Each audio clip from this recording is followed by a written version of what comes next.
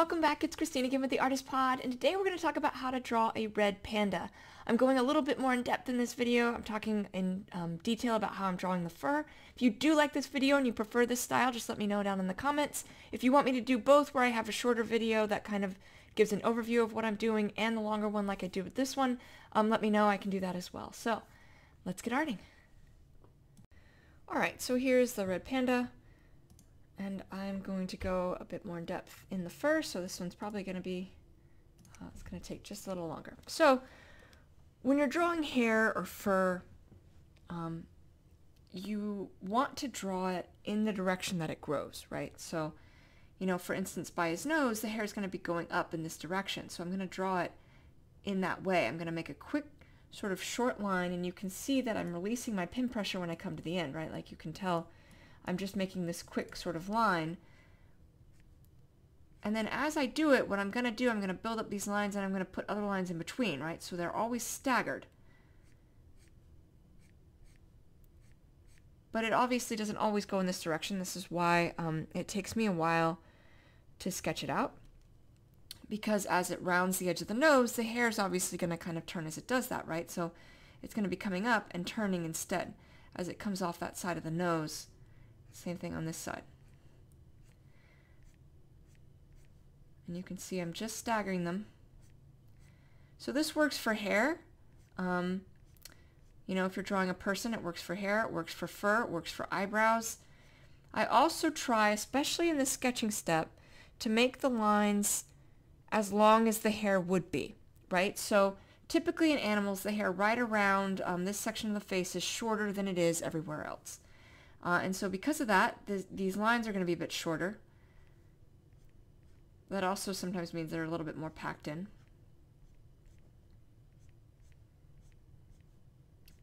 And, you know, because this is a sketching step, all I really have to be concerned about is making sure I kind of have fur direction set and the coloration changes sort of set. All right, so we're going to come off all of that's going to twist down. Now when you get into the um, little cheeks here, you know, especially at first what I would do is I was always curve them. That seemed like the right thing to do, but that's not necessarily true. They'll come straight off the nose once it kind of curves in place. So from here, it's going to be going kind of straight out. And as the nose curves, the hair inevitably curves, right? You can see I'm always staggering those lines. I'm rotating along with the nose as I rotate in. By the time I get to here, I'm almost turned inwards.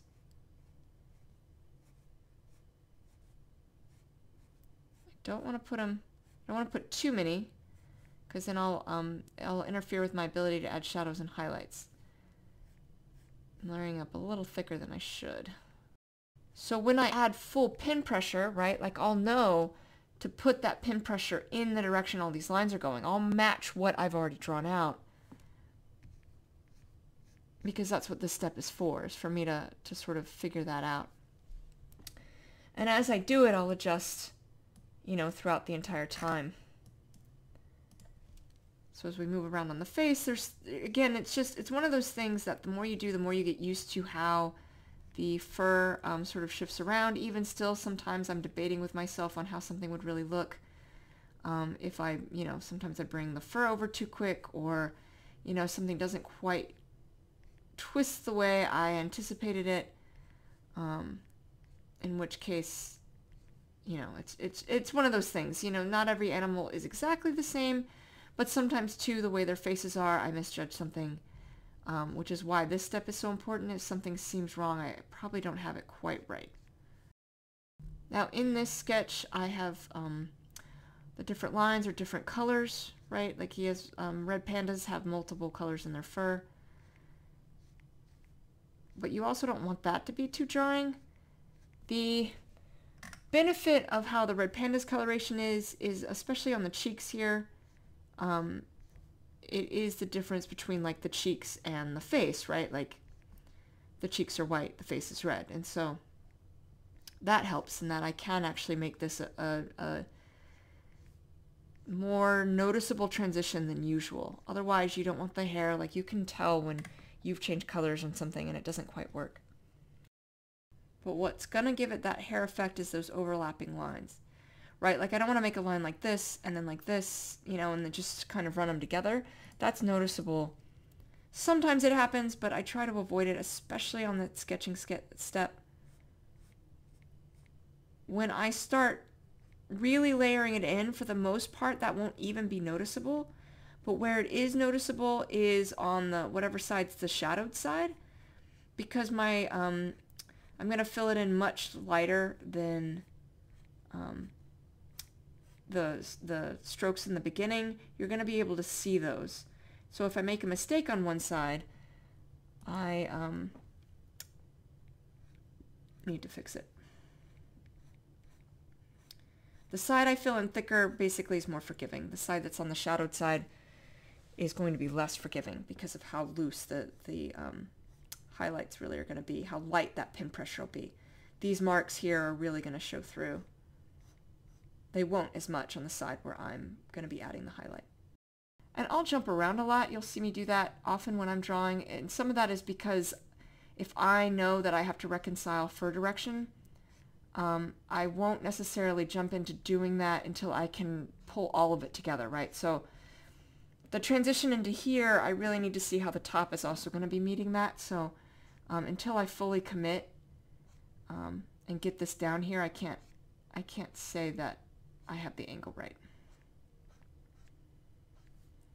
Especially because I also need to match the other side, right? So I have to be doubly mindful over here. Because it just kind of comes straight out. And so I was kind of angling it down. I don't know that I had that quite right. And now as we move to the chin, right, I have to be mindful that the chin's kind of coming down. It's going to be a little bit of a bulge. There's a potential that there's going to be a, a change in um, some fur direction here. And I also don't want these two getting confused when I'm running them together. For the most part, I'll be able to separate it, but once that purple's gone, I don't want to be confused as to what I've done and where my mouth is. So in this case, I'm trying not to overlap them. I'm actually just running it up to the edge um, when I add shadows and highlights to that, you'll be able to notice. Um, it's a it's a technique that's effective in making sure that sort of shows through. If you don't overlap them, it's clear. Now you can see what I did. Typically what I do when I'm coming down like that is right in the middle is where I'm going to start. I'm going to have the lines on um, one side kind of coming off this way. I'll have some coming down the middle and then I'll have the lines sort of going the opposite direction. That's how I'm going to be able to reconcile the fur direction on the chin.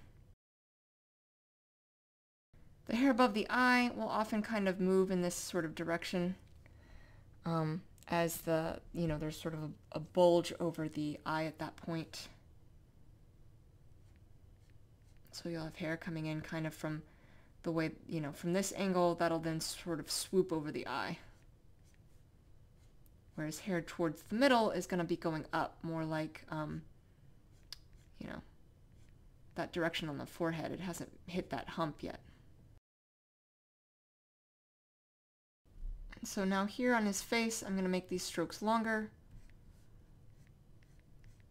because they're not going to be as tight as they would have been elsewhere. Also going to slowly angle them down because his face, typically the fur is going to kind of follow that edge of the face. So as it comes to the edge, you know, you're going to have the hair that comes straight kind of out from it. Now the ears are also white, but we're going to go ahead and pop into the next color. So they are three separate colors. They have a darker kind of um, brown underneath into the sides, and then this lighter brown that we're going to start to fill in. So as I do this lighter brown, now I need to make sure that these all line up in a way that makes total sense. So as I bring this up, this needs to match that same line that I brought these other lines up to. So as I do it, I have to be aware how it's connecting in because if I connect it in wrong, um, it's going to be blaringly obvious. But things like eyes are also really important to define the shape of. So I'm going to be very careful as I come around the corner of that eye to make sure that's very clear and you can see that. So as it comes off the back of the eye, typically it's going to come straight out you know, like this. And then underneath is going to be coming kind of down. I typically will like loop and come down, right? Like you can kind of see that. Let me zoom in. I'm going to do almost this little like hump, hump and down, hump and down.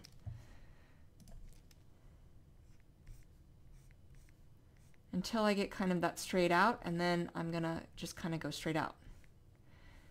The way this hump works is it's going to send it uh, this sort of arch, right? Like I'm going to draw it down um, because that you have that bulge kind of coming down.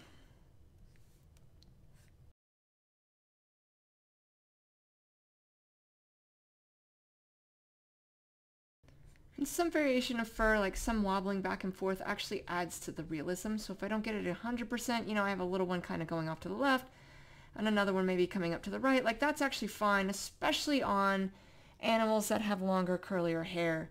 Um, you can add small variations like that um, and it only makes it more believable.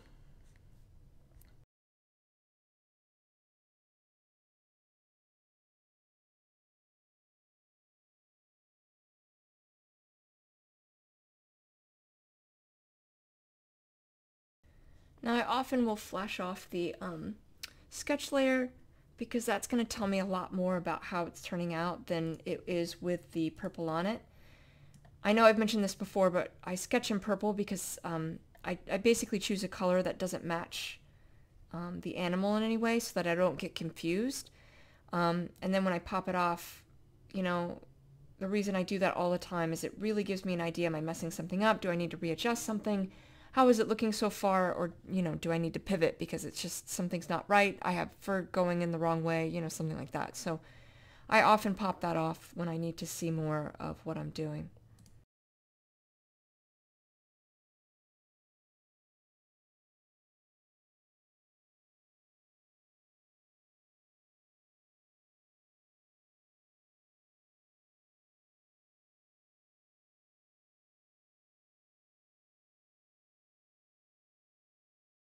Alright, so now that it is sketched out, we're going to start adding the highlights. And we're going to start once again by the nose. So when I'm doing this, I'm putting full pen pressure and I'm just filling in, following the angle I've already created with that sort of sketching layer underneath. So as I come to that edge of the nose, I sort of take, I, you know, twist it down. Just following all those lines we've already sorted out. And I should have mentioned I'm having my light source come from over here. Now when I say that, what I mean is the light source is coming from above to the right and in front of, so it's on this side not the back side.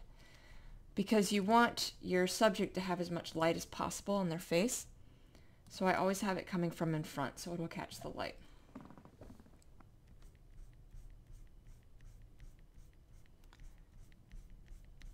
And this can be a little sloppier, but I am keeping it, um, and it can be a little longer, but I am still keeping it somewhat short.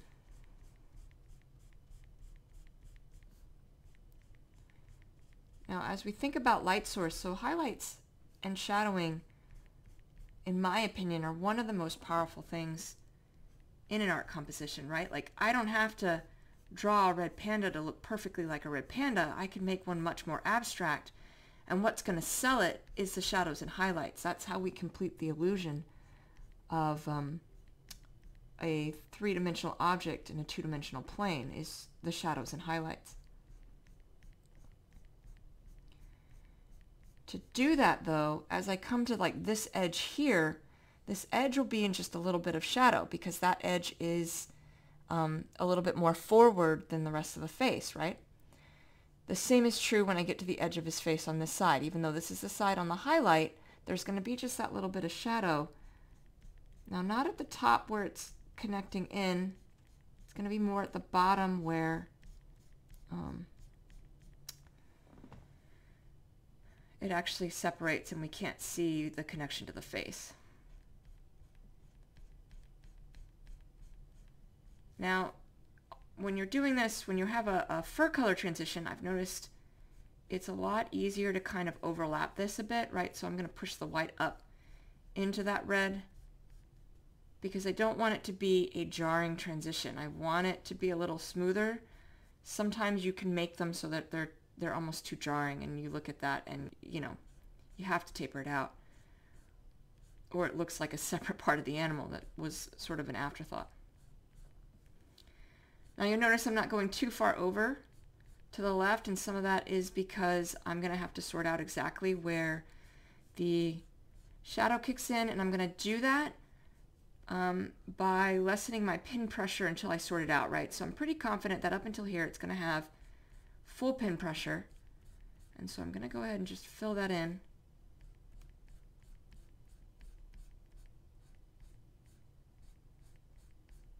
And then what I'm going to do is lessen it up. So now it's just light pen pressure. Still the same idea. I'm still intermixing them doing the exact same thing I am on the other side with the heavy pen pressure. I'm just really letting off here. Thinner strokes because my pen pressure isn't as hard and a little bit further apart. They're not as jumbled together because, well, not only are the strokes thinner, not putting them as close together. Now I'm going to do that for this whole side here but inevitably what's going to happen is I'm going to be brightening this up. So I can add more strokes to these to brighten up just like I do with this with the full pen pressure. It'll, it'll work very much the same.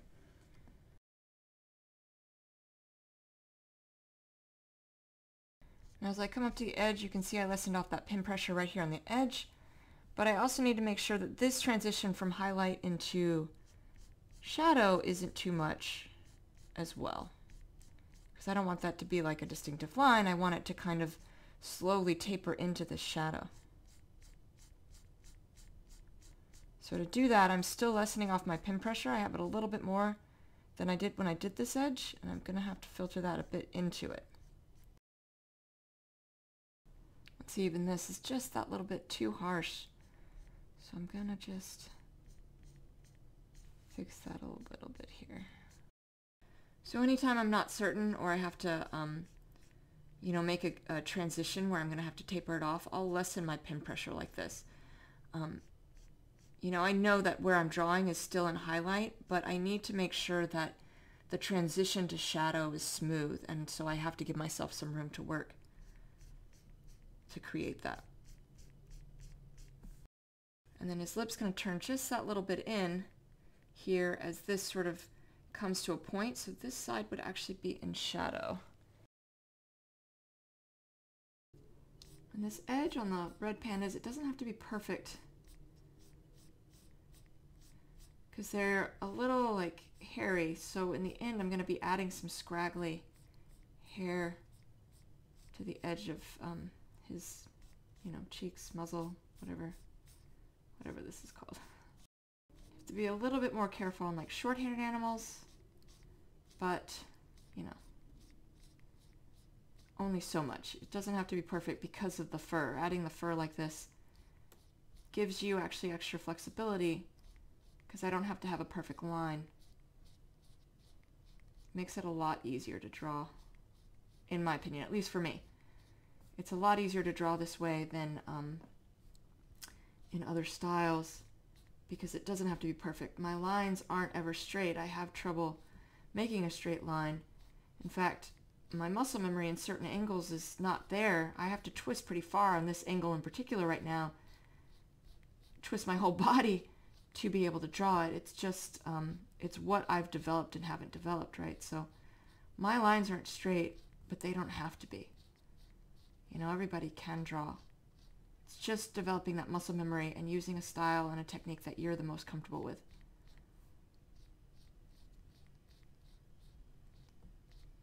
And again, in my opinion, shadows and highlights are the king of that. All right, now to bring that over and taper it in. Still using light pen pressure here, I'm just adding more lines to lighten it up. Now, we're going to add just a burst of light On this side too. Some animals and red pandas are similar. Their noses are very much like a dog. Um, but their noses don't stick out all that much from the face, so there would be just a little highlight on this side. That's going to help indicate that this comes forward while the rest of it sort of angles back.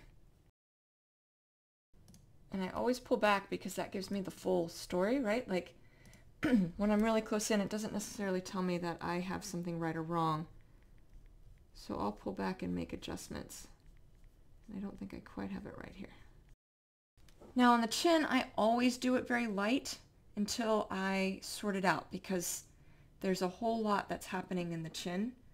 Um, and I need to know, and by that I mean, you know, the light source, where it's sort of kicking in, I need that sort of flexibility to sort it out.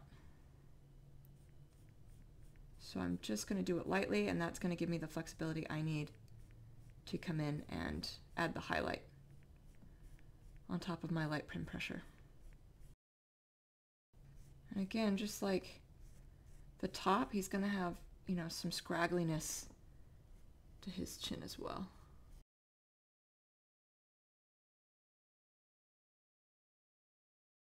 Now I messed up a little bit over here. Um, I brought this down into the chin. I've been debating on what to do about it, but pulling back, I think I'm definitely going to have to erase. I hate having to erase like this, but the best way for me to do it is to take a chunk out so I can feather it back in. I'm to give him that same kind of little bit of a smile we get on the other side, and I brought it down just a little too much. Luckily, this is on the shadowed side, so that's a little easier to pull back in than um, if I'd done it on the other. Now as I'm adding the highlight onto the chin, I'm not going to go all the way up. It's um, going to catch that little bit of shadow there. I'm not putting full pen pressure, but I am pressing a little harder um, than I was when I was doing the lighter strokes.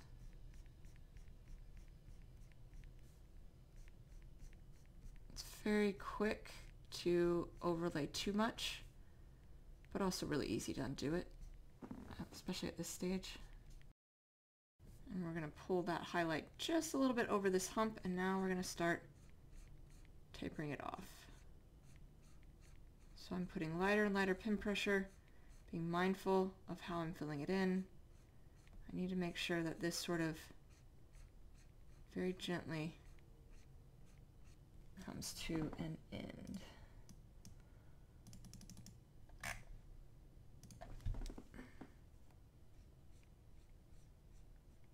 which is fine there. I'm just brightening up this section. It was a little dark. This would be in full highlight. So it's full pin pressure. But again, I want to make sure it's sort of raggedy right. And to do that, I'm going to go just outside of its boundaries. So I'm lightening this up just a little bit because his eye is going to actually be turning away from the light as it turns inward. And I just am sorting out exactly where I'm going to put that little bit of a shadow.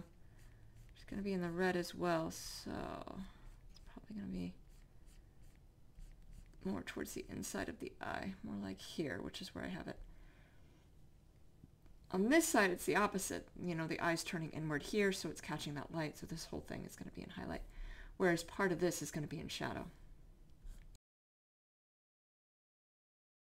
Now this whole section of white is going to be in highlight, right? The edge of the face is, is down here, so that's not going to affect this section.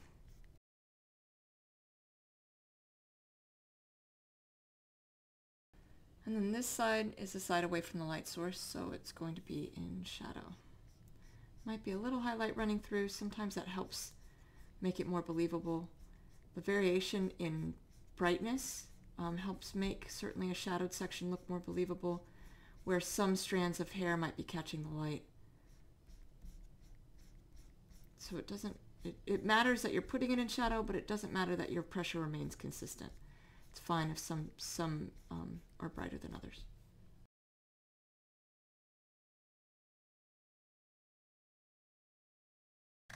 Alright, so we're going to switch to the next color. So, as I'm doing it, right, when you come down by the eye, there's going to be a little bit of shadow as it, you know, the, the eye itself, as it's going to kind of round into where the eye is, right? So this whole inner edge is going to be in shadow, whereas the bottom where it's catching the highlight, um, you know, it's, it's coming back out of that. So it would catch the light and it's going to be in highlights, but always on that top, right along that edge, even though this part's going to be in highlight, you know, I need to make sure that this is in shadow. And this edge here where we had that coming down is also going to be just that little bit of shadow. Because again, his, his eye there is rounding away from the light source. And then we connect it back in. We brighten that up. You know, and, and don't be afraid to overlap here, right? Like, as I mentioned before, you want to make sure that the colors are kind of blending a little bit together. So it's okay if you don't line it up perfectly, which is, again, the great thing of working about this style. I don't have to have a perfect edge. A little high, a little shadow here. His eyes coming down. But right around here, highlight's gonna kick in. I am more careful around the eye um, because that does need to be a little bit more of a better circle.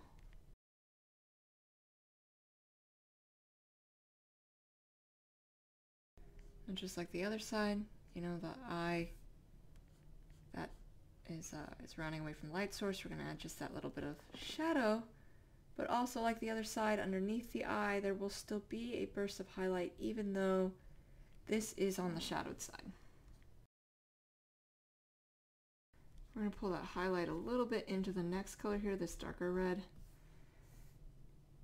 Because um, you, if you have a shadow and highlight change where a um,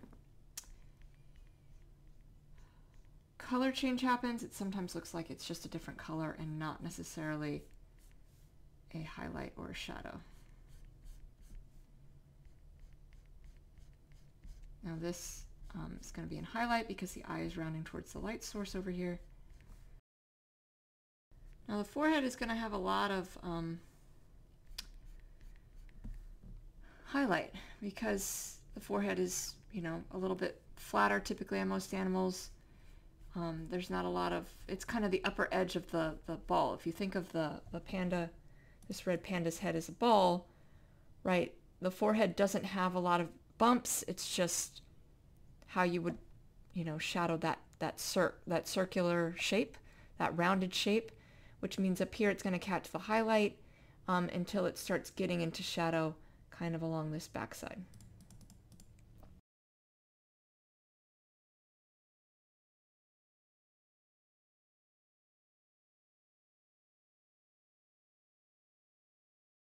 Now the top of the head, again we're going to have this going just into that shadow because, um, right, it's, it's rounding away from us at this point, so it would no longer be catching the light the same way all edges on a drawing should have a shadow unless the light source is directly beside it instead of in front of or um, just off center and I usually do it just off center. It's usually what's going to get you the best light. Um, but if you do that, everything's going to, every, every edge is going to be in shadow. The highlight is just going to be more sort of centered on one side but within the shape itself.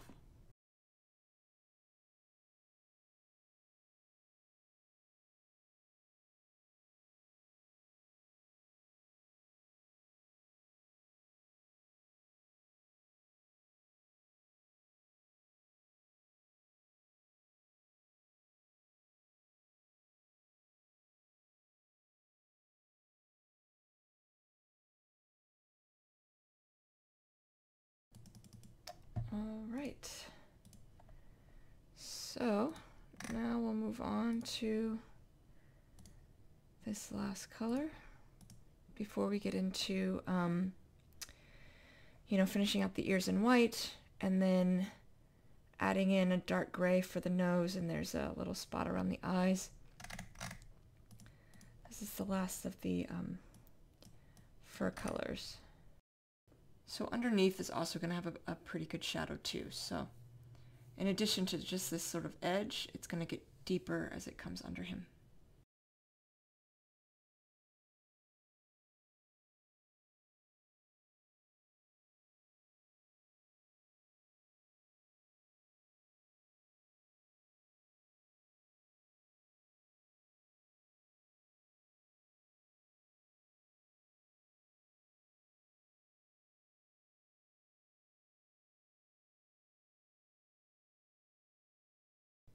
All right, so I'm gonna add a little extra kind of um, messy fur around his uh, nose, cheeks, face right here. And it'll put the white on top as well. So I'm just gonna make some short, kind of messy lines here. I'm doing that by very lightly coming out straight, making bows, right? Let me zoom in, maybe that'll help. As I come down, right, like I'm just kind of, again, it's not, I'm not putting a lot of pen pressure, just kind of messing it up a little bit. I need to make sure it matches the hair though too. I'll do the same on this side. Again, not much. Just a few sort of extra floofs. It's going to have some whiskers at the end too. That'll also give him a messier look. You don't want all the hair going in the same direction because it's not really realistic, right? So I need to make sure it's kind of going in multiple directions. There we go. Now he's got a little scragglier face. And let's, oh, I missed, I missed a spot on the red. And now we will finish up the ears before we move on to adding the nose and the eyes in. I might add a layer of um, scraggle I think I will actually come back in and sort of flush this out to be a little bit rounder. And then probably blend this a little bit better on this edge, right? Like this looks a little too jarring. You can see over here it's blended a lot better than this line here. So I'm gonna, I'll have to come back in and, and sort of fix that. So as you're adding highlights and shadows, it's um, easier to think of the different shapes as separate shapes, right? So the ears as a separate shape, the, you know, circle of the nose as a separate shape, the cheeks as separate shapes, the chin, and they're all shapes within shapes. I find that an easier way to sort out how shadowing would go. Um, and then as you get used to it, you can kind of, it becomes a little bit more natural. But instead of thinking of the whole, which can be um, a bit overwhelming, just break it down. And here I'm just going along the edge of the ear, so it's light pen pressure.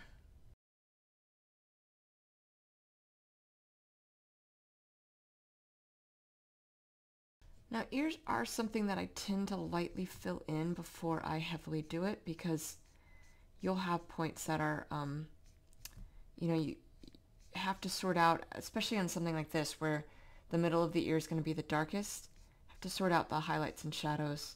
And I prefer to do that after I've lightly um, filled in everything for that, you know, deeper control you get.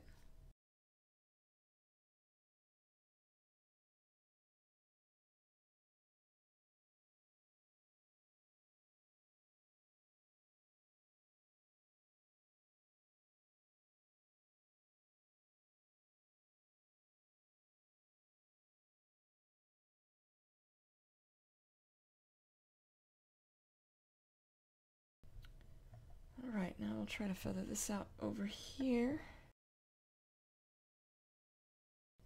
Although it occurred to me I made his ear over here a little scraggly, so I need to do the same to the one on this side. Alright, so now we have the nose and the eyes. First we've got to get the black, which is, um, because I design on black, I can't do black, so I'm going to come over here to this gray. And we're going to do is we're just going to lightly fill it in, just like with the hair, we're going to do um, the base layer. So this is the drawing layer. And then we'll add the highlights. With gray, you have to be a little bit more careful because it um, can show up as gray and you want the gray to look black. So um, I have to be mindful about how many together, how much pen pressure I'm using the whole way through. Just a little trickier. And even though it's not fur, I still overlap the lines. Still works.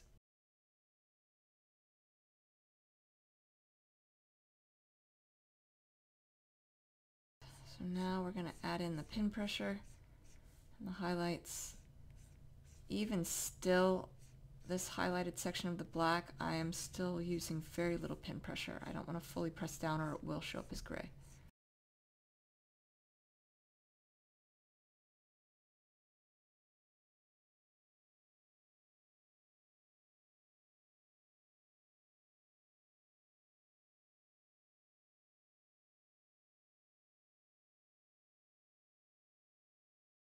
So the next thing to do is the eyes. Red pandas have brown eyes. Now they also have um, eyes kind of like a cat where they have the little slits. So first I'm going to do it as a circle and I'll turn it into, um, you know, extend that shape a bit.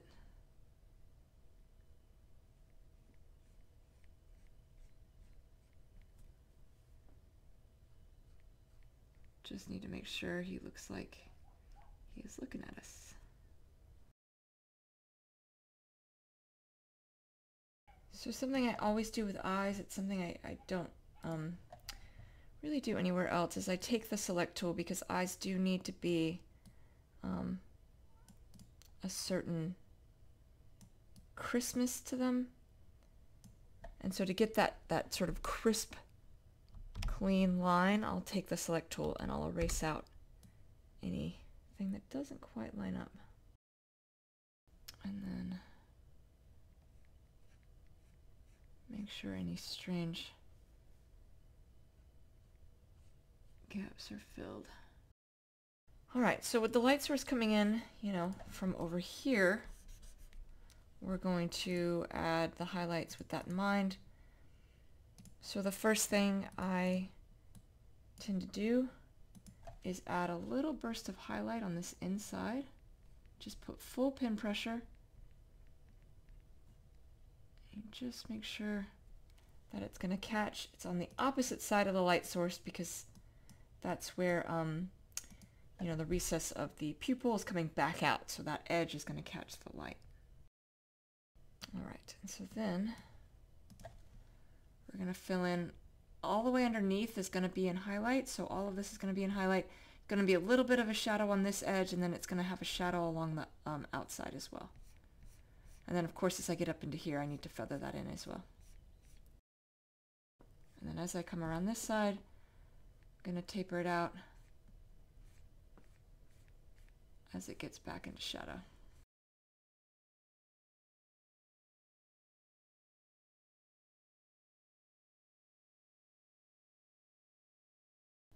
All right, so in my opinion, one of the most important things of drawing eyes is getting the light flare right.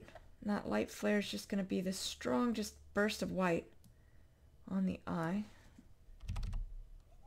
You want it on the side of the highlight and it goes into the pupil. I always start on the eye that is um, more in shadow because um, because it's more in shadow, I want to make sure that its light placement makes sense and that I don't have to make this smaller or bigger if I do it over here.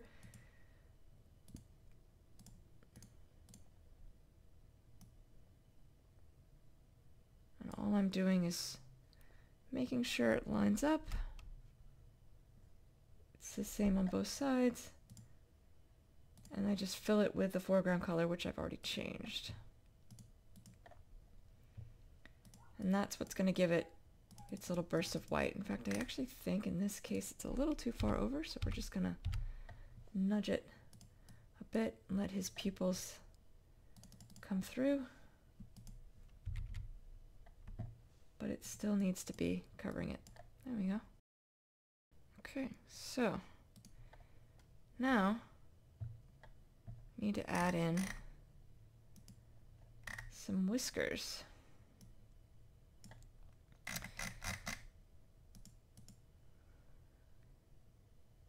And they're going to be in white, just getting a feel for where I had originally sketched them, and then we'll just go ahead and jump into it. Okay, so to do whiskers, I move my arm at the shoulder and I make a very light stroke, right? So I'm going to do this light stroke. You often want to like pair them up, so you don't want to end up with, um, you know, just one singular whisker hanging out. You want a bunch together. That's what's going to make it look more realistic. He's got a bunch of hair coming off his chin too. And then whatever you do on one side, you want to try and mimic on the other. Same thing though. Light pen pressure. Not like that. Moving at the shoulder. For every one that goes up, I need to put one up. And I'll just build it up until it looks right. Yeah, whiskers are one of those things that can add like a nice burst of detail. You know, it looked fine without them, but I think the whiskers really help add sort of an, another layer to it. I like adding some, you know, sometimes a little detail like that can make a big difference. So. All right, so that is how you draw a red panda. I hope that's helpful. In the floating nether next to me, I have other videos of art tutorials I have done, and I will see you all soon. Thank you so much. Take care.